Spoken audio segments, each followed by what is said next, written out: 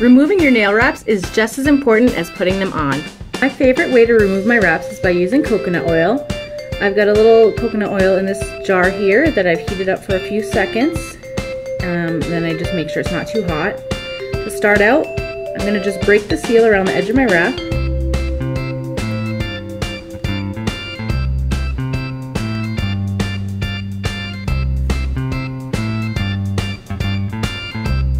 As you can see, I haven't really peeled it up. I'm just breaking the edge. Then I'm going to soak in the oil for a few seconds just to allow the oil to start breaking down the adhesive.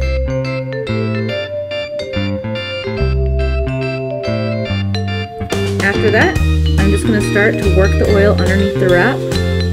You can just use your finger, or if you want, you can use some cotton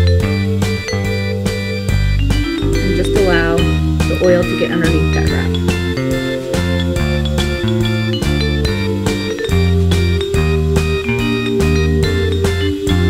I'm not peeling, I'm just getting that oil underneath, allowing the adhesive to come free from my nail, and the wrap is lifting on its own.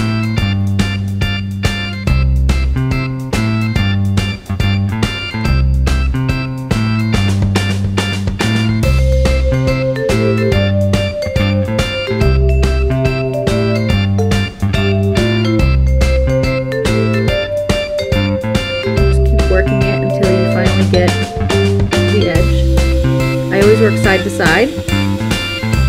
There you go. Then you can just take your oil and remove any excess adhesive that might be sticking to your nail.